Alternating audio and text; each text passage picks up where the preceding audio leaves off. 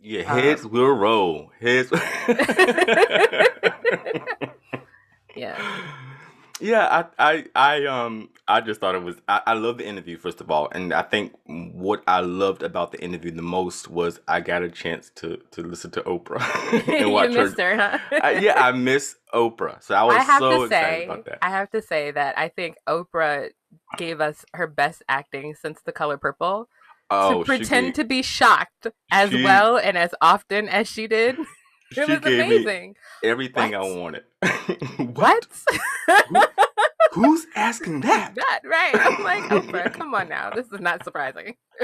and I've seen, I've seen the memes, mm-hmm. and the memes have been just just all her expressions. I think I've seen more memes of Oprah than I've seen of any other part of the interview, or Harry, or or um, yeah. Meghan Markle. So she yeah. gave us she gave us all that we needed. mm-hmm. Absolutely, absolutely. Welcome to episode four, Breaking It Down with DJ and Courtney. We like to start each episode with a little segment called What's Still Cooking. It gives Courtney and I a chance to highlight things that we have watched, read, or experienced over the last week that still may be lingering on our minds. So, what's still cooking for me? I saw a movie trailer uh, recently about a, a bio series uh, about Aretha Franklin Ooh. and it stars Tony winner and Academy Award nominee Cynthia Erivo, and it's an eight-part series uh, t- titled I think I didn't say title already, but Genius Aretha that will debut Sunday, March 21st at 9 p.m. Eastern on National Geographic, which is kind of strange, National Geographic. But the episodes will also be available to stream on Hulu starting Thursday, March 25th and one of the executive producers is Clive Davis. Interesting. Yeah. I love and Cynthia Erivo. I love her too. She's uh she's very talented. She played in that movie um Harriet Tubman mm-hmm, Harriet, um story and she got nominated for that Academy mm-hmm. Award mm-hmm. there.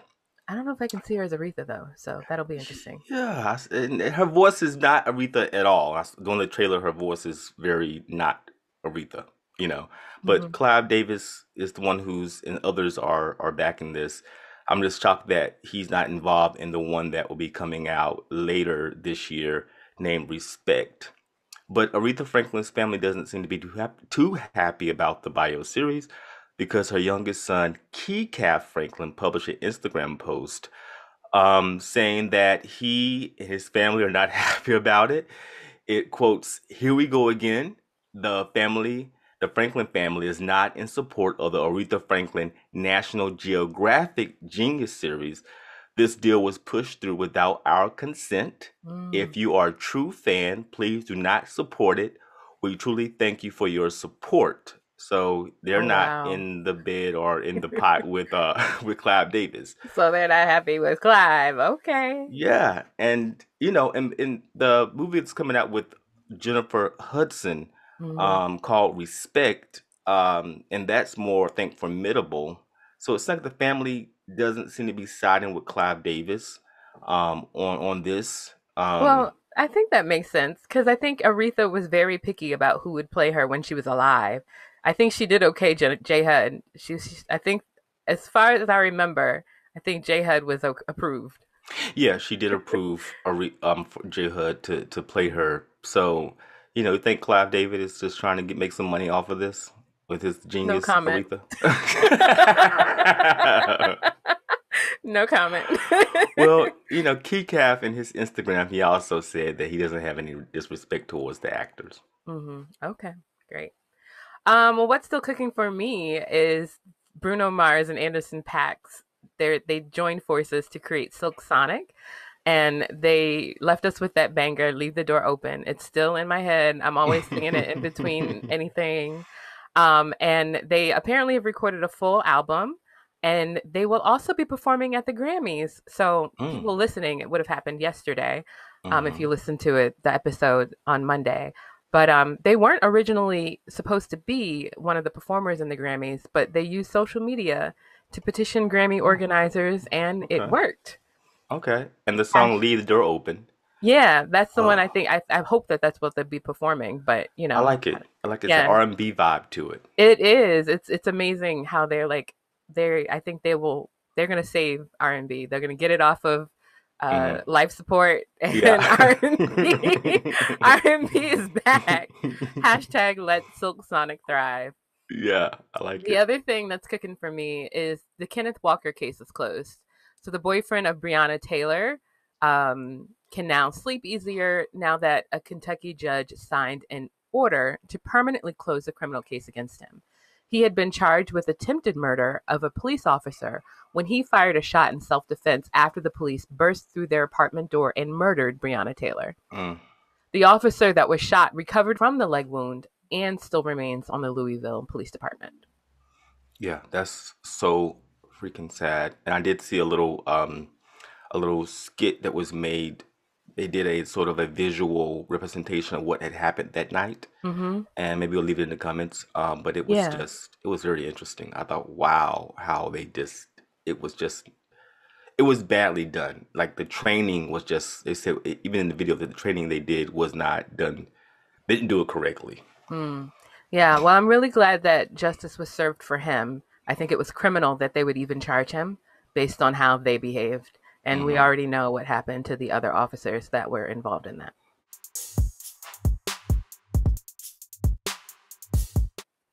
Okay, so let's get into our first topic. And as everyone has already been talking about, two Sundays ago, we got the return of the Oprah Winfrey Show as Yeah. Oprah interviewed Meghan Market, um, Markle and Prince Harry. And, you know, I, I mean, I wasn't surprised, but in the interview, it was revealed that after being bullied in the press, having security denied for her son, and expressing her own struggle with depression and suicide ideation, that the monarchy and that the monarchy was concerned about baby Archie's skin tone Mm. um, they were in essence pushed out of being royals. Um, after that, we've seen quite a bit of after aftermath. You know, the Queen has responded. Um, Harry's brother has responded. There's been quite a bit of aftermath. Yeah, Um, heads will roll. Heads. Yeah. Yeah, I, I, I, um, I just thought it was. I, I love the interview first of all, and I think what I loved about the interview the most was I got a chance to to listen to Oprah and watch her. missed her, huh? I, yeah, I miss Oprah, so I was I have so to excited say, about that. I have to say that I think Oprah gave us her best acting since The Color Purple. oh, to pretend she to be shocked as she- well and as often as she did. gave, It was she gave me amazing. everything I What? wanted. What? Who's asking that? that right? I'm like Oprah. Come on now, this is not surprising. And I've seen, I've seen the memes, Mhm. and the memes have been just just all her expressions. I think I've seen more memes of Oprah than I've seen of any other part of the interview, or Harry, or or um, Meghan Markle. So she gave us she gave us all that we needed. Mhm. Absolutely, absolutely. It's also amazing to me, like some of the responses have been a lot of journalists that are applauding Oprah and her skill. Mhm. and I recognize that she did an amazing job. Oh, I, I can't deny that. But I think a lot of these journalists had never seen that because they didn't grow up watching the Oprah Winfrey Show, Right. and that just you know sort of aged me and and and shocked me. like, what? You haven't seen this genius before? Yeah, because she's not even um her show did what didn't air in certain countries like Switzerland. They never aired the show. Oh, So really? she got that situation where they didn't want to give her that handbag because it was Mm. thirty thousand dollars that Tom Ford because they didn't know who she was because they they never seen the show. It Mm. doesn't air But there. there's still like a lot of American journalists because they're so young. They just didn't grow up with her. Watching, yeah. Yeah, So she's actually getting a new a new audience. Yeah, she is. this. She is. Mhm. Yeah. Well, I hope that means that they'll put more of her shows, like archives of the show, on OWN to watch. Yeah, I've been I it, secretly I've been downloading all the stuff that she's been putting on on on on, on on YouTube because I'm like I don't want them like I feel they're gonna take it down, so I'm like let me Mm. get it before. So I have this big archive of, of Oprah. Mm, mm, mm. um, we'll, we'll, we'll you know we'll we'll erase that. not not. okay. but one of the things that I thought was interesting was um, this the fallout of it all. Mm-hmm. So, how did you feel about all the fallout that's going well, on? Well, I think it's really interesting because I think there's one conversation that's being had in terms of like racism in the monarchy mm-hmm. um, and it being surprising. And then there's another conversation that I think needs to be had that isn't, I'm not hearing um, talked about, which is the monarchy's relationship to colonialism and mm-hmm. slavery. Mm-hmm. And like, mm-hmm. to me, it's a direct correlation to racism. Of course, there's racism in the monarchy. Yeah. Um, so that's what I thought was interesting. I was really disappointed with the queen's response. You know, she says, um, what did she say? She said something like, while recollections may differ, it's deeply troubling and we're going to handle it within the family. And that while recollections may differ sounded very shady. And I felt like she was calling Meghan a liar. Um, yeah, that's, that's just my read. thing that I was like, you know, how she's been attacked in the public after the story, after the interview is like, mm-hmm. okay, is she a victim? Is she a is she fair game? Is she a liar? And I believe she's fair game for me. When you say fair game, what do you mean? What I mean by fair game is she when she stepped into that role, and regardless if you are oblivious to how this operation, like you were saying, you we, we know that there's there's racism in um, because you know this is a, a, a, a if you think about white bread family, it gets no whiter than the, the than the the royals. Okay, the queen, right. the queen, right? You know, and you you know you get I, think about my black self getting into that family. It, it, would be it would be a problem, a big problem. Mm-hmm. So I feel like that, that there's no way that she could have been so naive that she didn't know that she was going to her presence in that family wasn't going to rock some boats and well, cause some disruption. Well, there is a way that she could be that naive. And mm-hmm. that could be, you know, she was benefiting from her um, privilege of colorism. You, you know, like she mm-hmm. was palatable as a black woman and she had wealth. Um, you know, so perhaps she didn't go through the world thinking about her blackness in a certain way so that it would be top of mind as she's entering into this family. I don't know and and and I, I don't know that and i also just want to say because i know that my tone doesn't sound very compassionate to her to her um, i do feel very compassionate to her and her experience um, i don't think it's unique so the to, to be surprised by it is what i i don't understand mm-hmm. but to to be in that situation and then not have the protection of the firm was wrong um, mm-hmm. and for her to feel yeah, suicidal explain, ideation my heart goes out to her and i feel i have no compassion for the firm for not providing her support um, to either cut off the, the the the things that the tabloids were doing or to provide her the mental health support that she needed. I have no I have no compassion for them failing her in that way. Explain to me what the firm and the institution and the yeah. family, what all that is. Sure, because... sure, sure. So I'll I'll um I'll explain a little bit. So the word the institution really means the entire palace. Anyone who works in the palace, um, you know, like the person who winds up the queen's clock, which apparently is an actual role, is part of the institution. I need so that job. it's the family business. So I saw some article that sort of aligned the royals with the Kardashians in in mm-hmm. a way. They're mm-hmm. not the same, but like the the queen is the head of do... state, but it does they don't have any like legal power, right? Mm-hmm. But mm-hmm. they they they do have some power because they influence tourism. Um, you know, so their business as a family is about public image. It's all about public image, right? Mm-hmm. They go visit the Commonwealth, they do all those tours and things like that. So that's the family business, and that's called the institution. So anyone who works in the palace is a part of the institution. Then there's the firm, which is like the PR branch of the institution. So they are the ones that manage the reputation. So in the interview, I think Harry and maybe both of them, they alluded to the relationship that the, the royals have with the press. It's almost like a quid pro quo type of situation. Mm-hmm. Um, and that's what the firm is. And then apparently, uh, last December, the firm included a smaller circle, and it's called the Firm of Eight, which includes the Queen, Prince Edward and his wife Sophie, Kate Middleton and Prince William, Prince Charles and Camilla, and Princess Anne. And mm. so, as you see, Prince Harry's not involved in that. The firm, all right. The firm, right? The firm of eight. Um, and so it just brings to question, especially I, I've seen this analysis recently that the Queen released her response to the interview, but then Prince Andrew spoke out aside to that publicly when she said we're going to hand it privately, and he goes, "The royals aren't racist." Yeah, yeah. So He- it seems like there's some there's some disconnect or falling apart within the firm right now after that interview. Yeah, well, you know, I think that someone someone actually asked him. He was out. I saw the the interview where it was it was an interview. It was him walking with this black Right. woman. I said, "Oh, they're doing a little PR thing," because he was walking with this black woman, and um and someone asked you know s- a question, and they don't show you the question that was asked. They always just show his response to the question, and it Mhm. was you know we're very much not a, va- a racist family, but you do. But the truth is, they do live in a bubble Oh, of and course, of and course. um and living in a bubble will will cause you to be racist. I'm sorry, just you know, there's no way that you can understand black people if you're not dealing with black people in a positive, productive way. Right.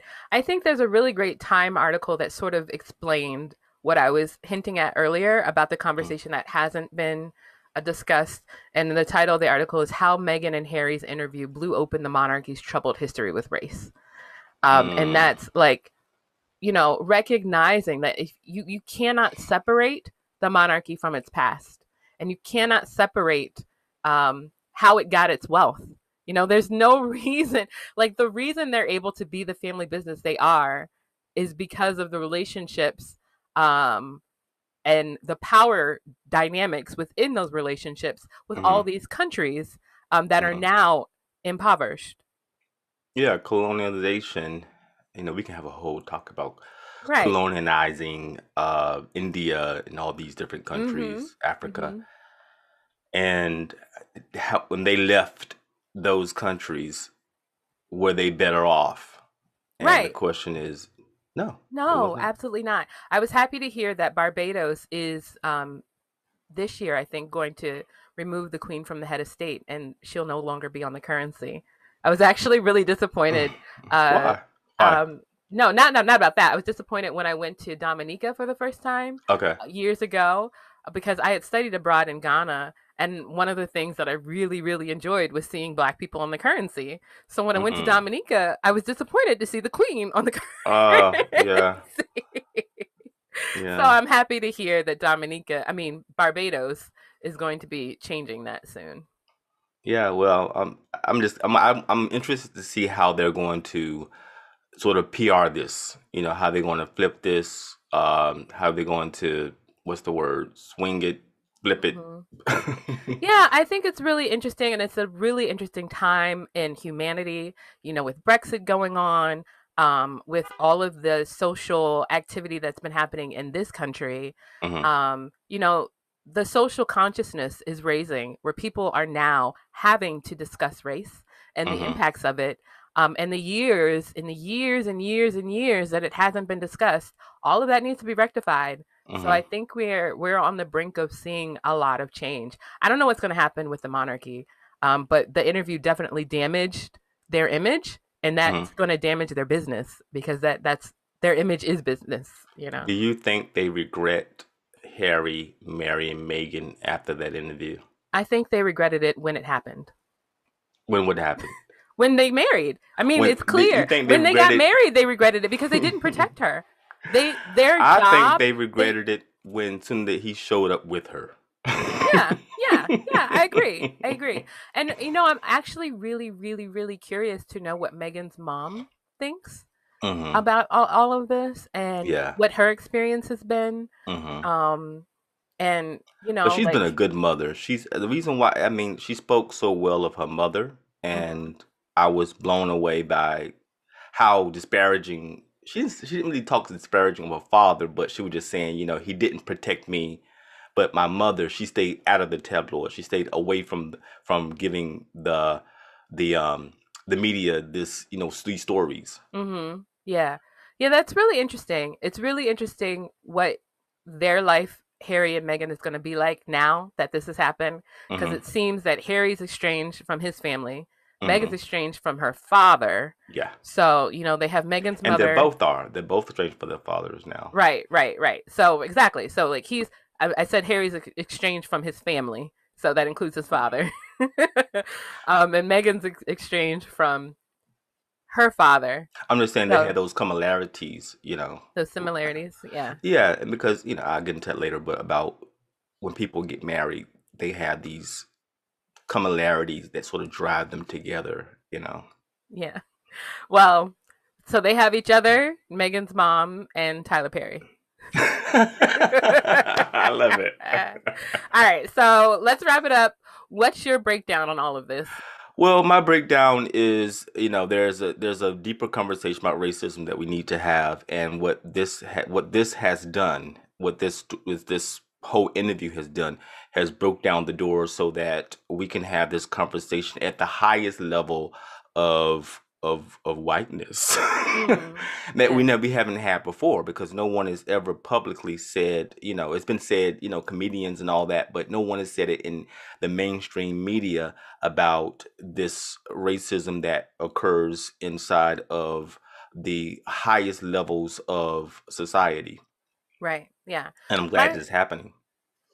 Say that again? I'm, I'm glad that that's happening. Yeah. Yeah. I'm glad that's happening. My breakdown is I think it's time to look at the legacy uh, of racism all over the world.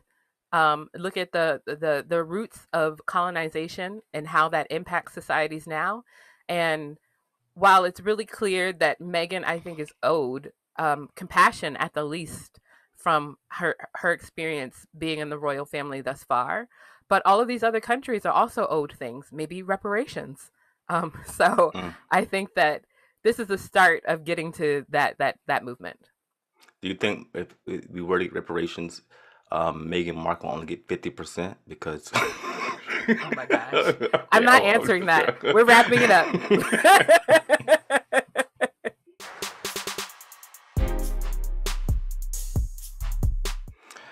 this is the segment where we have we call "Make You Laugh," and we find a topic or, or uh, something that we saw that was that was funny, and I think I think the entire world, in my mind, has saw "Coming to America" the sequel, and it was released on Friday, March fifth, on Amazon mm-hmm. Prime Video. Um, I, of course, I immediately after I was done with work, I went got my popcorn and I got in my bed and I turned on my tail my my flat screen TV mm-hmm. and um, began watching. Coming coming to America.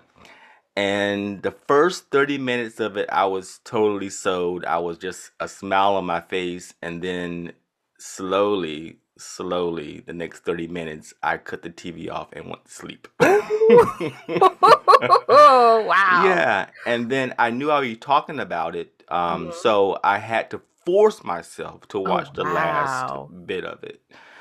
Um, I would say overall, I'm disappointed um, oh. in it. And the reason why I'm, I'm very clear. I mean, it's, it's one of those happy-go-lucky movies. I'm quite sure we'll be watching it on some Saturday afternoon on cable.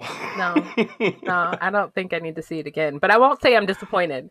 I'd watch the original on a Saturday afternoon. Oh, but... def- I, I watched the original. I mean, I, I watched it actually a couple of weeks ago. You know, mm-hmm. so um, I'm I'm still I still love the the original. Yeah. But what I think what caused this movie to fail is because it has no no no real antagonist. Um, mm-hmm. and they put a focus on. But wait, did the original? Yeah, um, Darryl Jenks oh, was okay. the antagonist.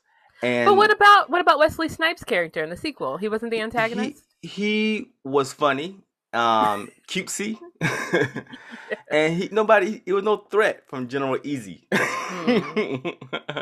you know. Well, I mean, so, that was the whole impetus for um him to go back to America to find his son because he was going to be killed by the general if he didn't have you know when, an heir. When when they were exercising, heir. they were on they were doing spin cycle. They were doing spin. they were aerobics. It, it, just wasn't no threat there. You didn't okay. you didn't feel there was any threat of General Izzi taking over uh Zumba Zamunda, you know mm-hmm. so that was not a, a, an antagonist if they thought it was it wasn't and then sort of kind of they went to a little bit about the daughter who really was the the real heir because Mhm. she's the firstborn. Well, Right. she, she's Well- not really the firstborn, but she's uh, I guess The what you would firstborn of the royal family. yeah, legitimately, Right. And Not the um, bastard child. Not the bad. And they kept saying it over again. The bastard child. And I'm just like, wow, you know, really? And you know, I think that's a nod to like African culture though. You know, being a bastard child is a real that's a big deal. Like that's a Yeah. big no no. So I think it was a that's what that nod to fathers being in the home and too. I think it was sort of kind of like the little nod to that. Um, but they should have focused. To me, they should have focused more so on the daughter because she was just amazing to me. The girl Yeah. who played KiKi Layne. Well, she her, her name is KiKi Layne. Mhm. and she did an awesome job as the oldest daughter and um you know it just wasn't the, the focus on was on the wrong thing the son wasn't charismatic the guy who played the son wasn't charismatic at all Wow.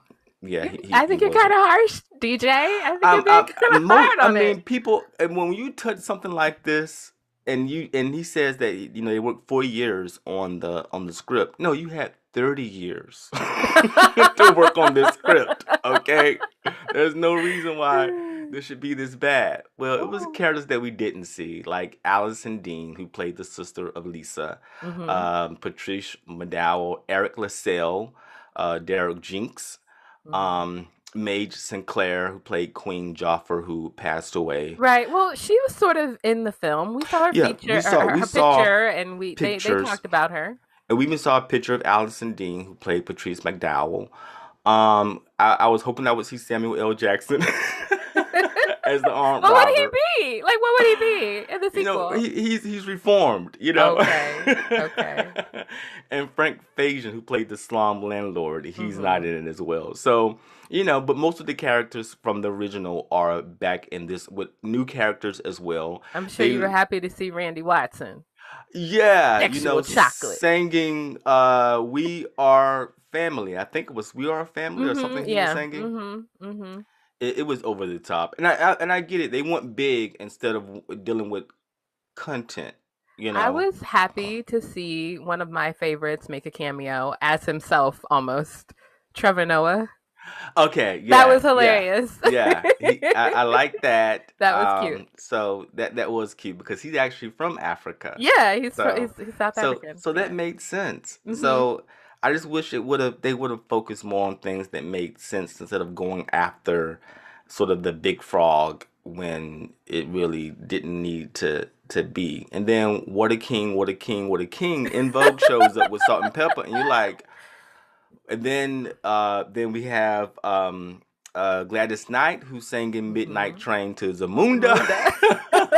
and I'm just like well, I'm sorry. The oh. funeral that was hilarious. We should have the funeral while I'm still alive. Uh, that was Yeah, funny. Now I like that, you know, but just the corniness of the songs I didn't like. But I felt was heartfelt when he passed away. and He wanted to see his own funeral. yeah. I like that, but it just could have been done classier than than how they did it. I didn't I didn't believe King Joffer was going to, you know, like what a king, what a king. I mean, come on, you know. I think he had died by that point. So. Yeah, so he didn't even see that part. Well, know. I agree. I don't think it's a classic. It's not something I'm rushing to see again. I probably won't watch it over and over again. But I thought Mhm. it was the laugh that we needed now, so it was Yeah. yeah, it was it was it was family fun. I Mhm. put it. I'll, I'll leave it at that.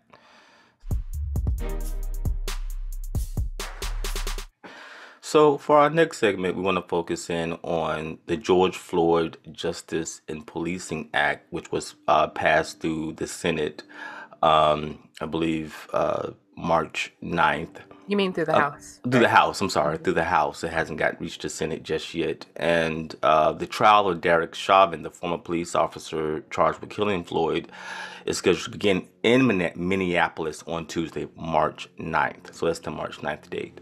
Okay. Um, so Derek, Derek Chauvin, who was filmed um, kneeling, you know, famous uh, footage of him kneeling Infamous. on um, George Floyd's neck for eight minutes and 46 seconds, literally choking the life, uh, choking the life out of him, was charged with second degree murder and manslaughter charges. Recently, they upgraded that to include a third degree manslaughter charge as well, which is kind of odd that you would have a second degree and a third degree. So um, I'm interested how that was going to turn out. Um, as of now, they're uh, actually um, determining the uh, individuals who will sit on the jury at mm-hmm. this present moment.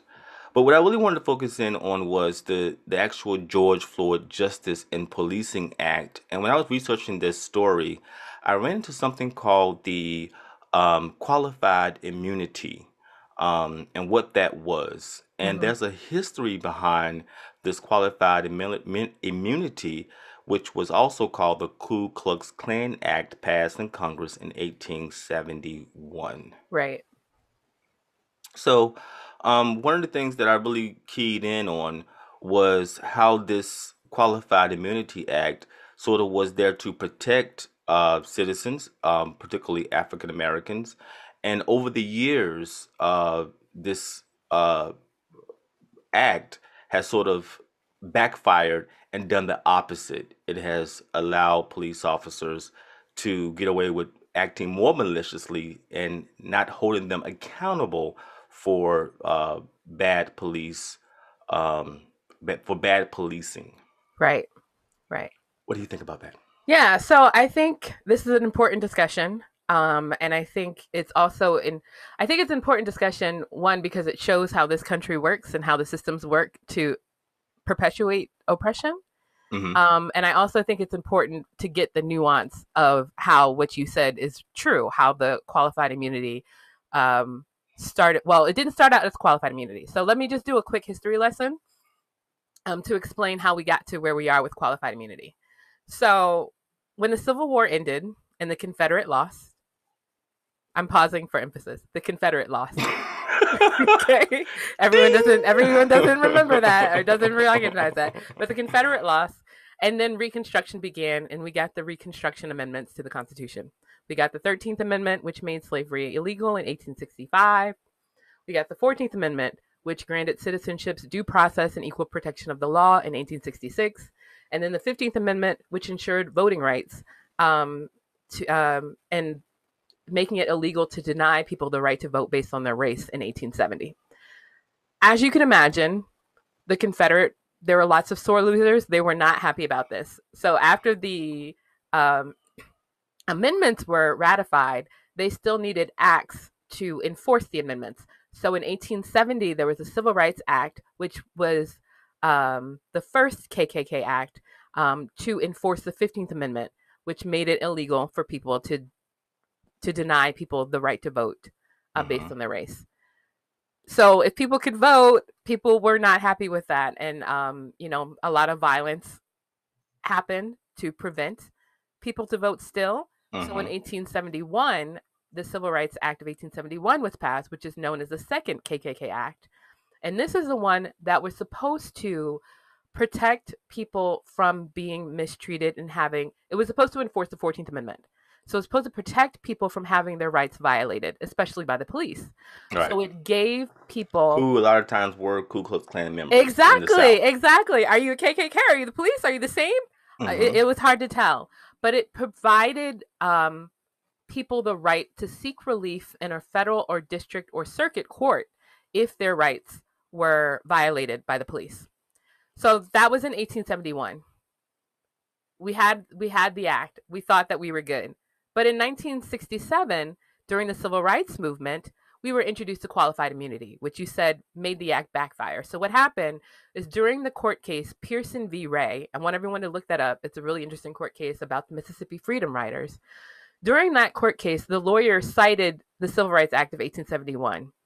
But the Supreme Court at that time ruled that, you know, we don't want to have all of these uh, cases going against police officers and, and pre- preventing them from doing their job. So we're going to say that if a law officer acts in good faith and they believe their conduct is authorized by law, they aren't accountable. So that's when the the KKK Act, the second KKK Act of 1871, sort of became null and void because uh-huh. police officers, if they believed they were in good faith, then you couldn't bring a suit against them. And so then later in 1982, the court case Harlow v. Ferguson, I mean, Harlow v. Fitzgerald expanded qualified immunity to the clearly established part. So it made it so that any public official could receive qualified immunity unless there was a clearly established case. So that means like the same circumstance was proven um, that rights were violated, but you already had that good faith, acting in good faith needed to be present. Um, and then now this clearly established, and then it expanded to all public officials. People should look up that court case as well, Harlow v. Fitzgerald, because surprise, surprise, Nixon is involved in that. So mm. I think it's the reason why I wanted to explain the history behind it is because you can clearly see that race is a factor. Right. Right. These things didn't change until the civil rights movement because it was a way to suppress that movement. If you make it illegal or if you make it so that a court case can't be brought against a police officer unless um, or you, you grant immunity to a police officer, then you allow them to continue to stop these protests that are happening, stop the freedom the riots, stop the sit-ins and have no recourse. And so now we're, you know, in the year 2020, 21 and these police officers have all of this free reign to do things and they know that they're not going to have a suit brought against them because they have this immunity. And so right. what you're saying is that the George Floyd bill is addressing some of that, right? Yeah, it, it is going to address uh it's you know reform that you can't it's going to ban chokeholds. Mm-hmm. Um and uh it will um ban no knock warrants Great. in certain cases mandate data collection on police encounters, prohibit racial and religious profiling, and redirect funding to community-based community-based policing programs. Right. So, um, what was shocking to me was that this is not the first time that this bill has been proposed to the House then the Senate. Senate. Senate. Um, last year, the House passed a similar vis- version of the bill, but it failed in the Republican-controlled Senate. This time around, Senate um, Senate Democrats will have to sway at least 10 Republican members to for the bill to pass to get mm. through the Senate. So this isn't the first time that it's actually been seen by the House and approved by the House. It actually the second time that it will be um, litigated and um, and voted on by the Senate. So hopefully this time it'll get through the Senate so that we actually can have these um, these amendments made for those people who have senators, I want you to call your senators to make sure that this goes through. Um, you know, and it's like we need so much reform in this country in terms of how we get things done. Because I, I, I, it's appalling to me. It's not shocking. It's appalling and egregious that this is a partisan issue. Like, how can this be a partisan issue? Yeah, it's uh, it's shocking. It's really, really shocking because you know, I, I, I mean, could do a whole different show on how society views black men. It's, it's, it's, it's tragic, and it's not that you know, I'm as a black man, I am. I mean, I'm not in any gangs. I'm, I'm I know I don't have a a risk record or anything like that, but um, I'm viewed the same way as those individuals who, uh, who and that's a part of every single society there's that 10% that's going to be doing all kinds of crazy things in every society. Mm-hmm. and but because you're african american male you're included in that 10% even though you're not. Right. You're included. So because i think 15% of this country is african american but and and the 10% of all bad people in this country you're included automatically by default a part of that 10% that's in every country because you are African American and that's just wrong. Right, it's wrong. And you know, and I think that's why like I haven't read the entire George Floyd Floyd bill. I haven't had time yet. But if it doesn't address qualified immunity, then it's it's those little small things are are cute and and needed, but police need to be held accountable because we already know, like you just said, just by the color of your skin and being male, you're a target. You know, we already learned this when Brown v. Board of Education passed that implicit bias is real, right? If mm-hmm. if te- if children can decide that a doll is good and bad based on the shade of its color in 1940, if if children know that, if Dr. Kenneth Clark and Dr. Mamie Clark were able to prove that, then why is it that we need to to do all of this to say that police also have this implicit bias? And it may not even just be implicit. It can be explicit. Like mm-hmm.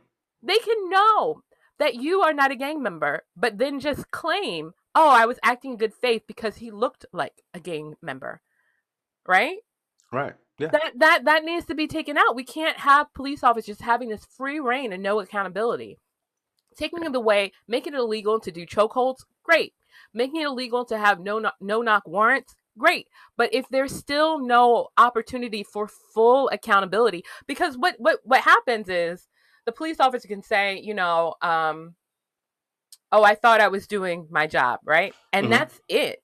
And then what happens is they so what they're doing is they're piecemealing. Yeah. Like they look at every mm-hmm. single incident, and now we're going to focus on like, okay, okay, well, we haven't had that incident yet, so we're not going to, you know, debate that or, or adjudicate that it's like okay, we we had the chokehold situation um with the gentleman who names just my mind who was uh I can't breathe.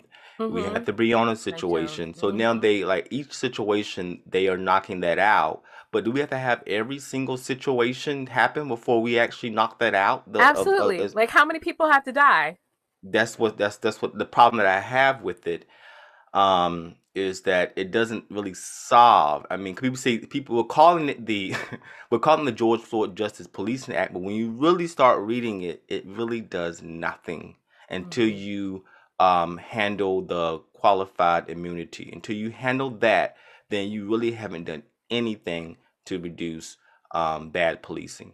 I think all of this is is uh, great that we're talking about it mm-hmm. because mm-hmm. this is really showing how we always have to be involved in the political process with the understanding that any progress that's made for inclusivity and um, and equity is going to face backlash, right? Mm-hmm. So the reason that we have a Democrat in the White House right now is because of all of the work that Stacey Abrams and all the other organizers did to flip Georgia um, and Pennsylvania, right?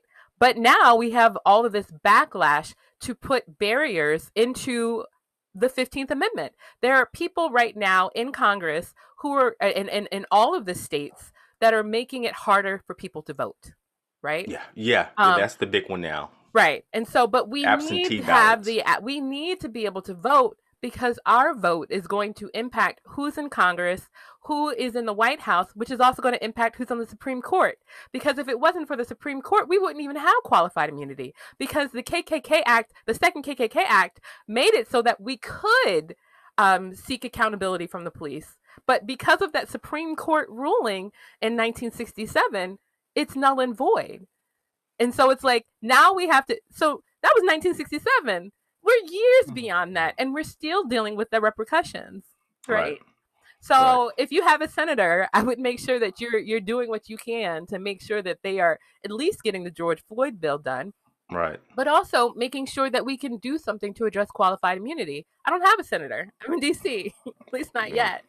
Um, so it's it, it's just I think this is just another call for us to we have to we can't fall asleep now just because yeah. we don't have that man in the in the office and we, mm. we, we, don't have anyone to be angry at we stay still woke need to folks. pay attention stay that's woke. right stay woke stay woke so so so some of the things that i that, that came up for me in my breakdown about mm-hmm. about how we utilize local and federal government funds about uh, transparency tracking and training because without the proper training and frequent remedial training for police officers, mm-hmm. the money gets wasted.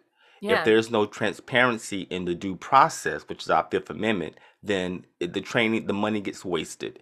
If there is no real, uh, true background, comprehensive background investigation of the police that you're hiring, when I had to get my, you know, clearance with the federal government, they started asking neighbors and family members and everybody about my history and who I was and what countries I've been to. And it, to me, that has to also be those funds allocated to doing complete investigations of, uh, and I was just, you know, doing administrative work, you know, not infecting anybody's real life but it was more emphasis done on me than even a person who's going to carry a gun and mm-hmm. police society. So I think that we need to really reevaluate how we utilize the funds that we are giving um, local and government um, officials in terms of policing.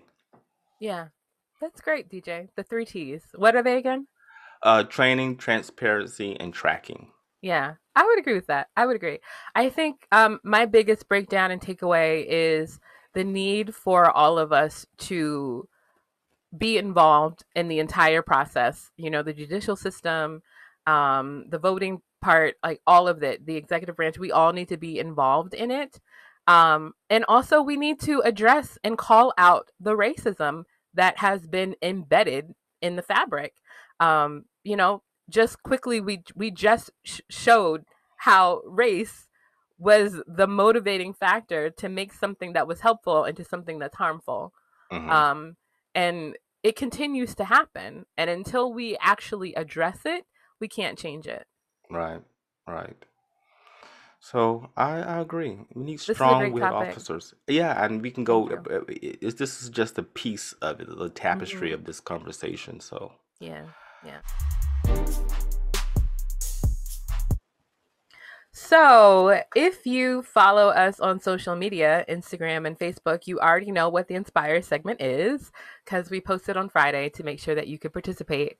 But I wanted to shout out one of my Twitch friends, Fran Boogie, for spearheading a three day virtual fundraiser where 40 DJs came together to raise funds and bring awareness to an organization called Stop AAPI Hate. Um, it's a coalition that is addressing the anti Asian hate during the pandemic. There's been a lot of that. Um, there hasn't been a lot of coverage, so it's really important work that Stop AAPI Hate is doing. They had a modest goal and they exceeded it. Mm, wow, um, that's great. I didn't, I haven't checked yet, but they did. They they did close the fundraiser on Friday. Um, but I'm sure people can still help out Stop AAPI Hate. You can check them out. Um, and what does AAPI stand for? Oh, sure.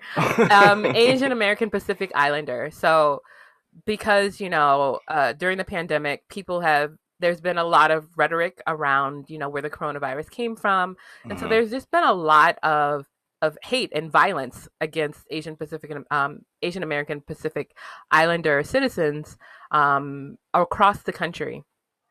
Um, and so it's important for us to one support those communities um, support like their businesses but also to protect them because no one deserves that and um, yeah. again i don't think it's been talked about a lot.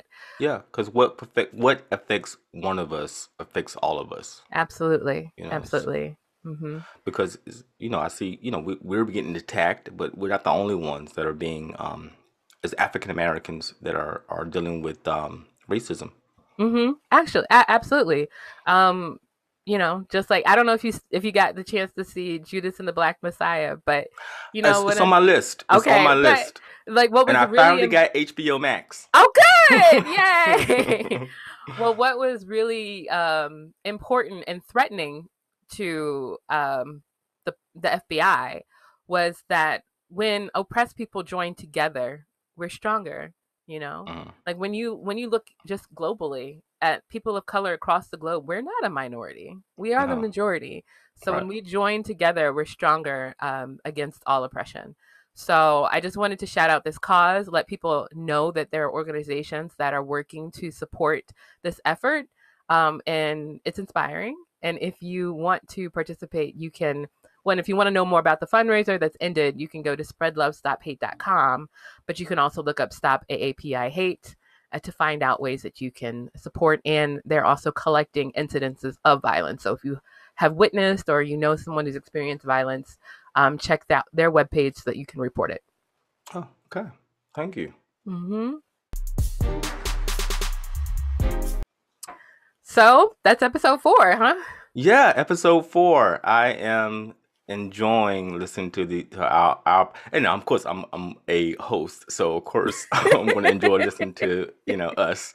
But I'm glad that people are are listening, and we actually I don't know if we mentioned it already, but we crossed our 100 100 plus uh, threshold of list of plays. Yes. So we are excited about that. We're waiting for our thousand plus plays. right. Well, thank you for listening, people. Yeah, thank you for listening. And um, I just want you to start to comment and send us emails, and um, because I really want to know what topics and ideas that you may want to bring to the table, have us break down.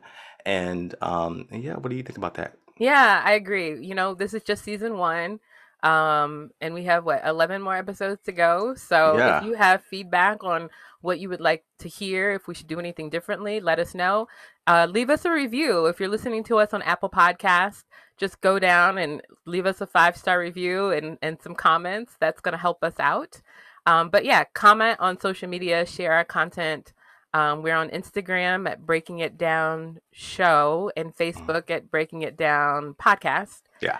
Um, and DJ, what's our email address? Breaking it down show at gmail.com. That's right. So connect with us. We're here. We, you know, I get text messages from people that you guys are listening, and I appreciate that. Um, but yeah, engage with us on socials. Yeah, engage. And maybe they're, you know, we're, we're discussing it, but there may be some, some, uh, some, some prizes for one, for a few people.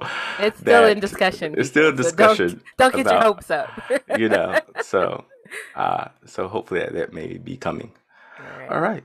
Well, we'll see you next week. Thanks See you for next week. listening. Take care.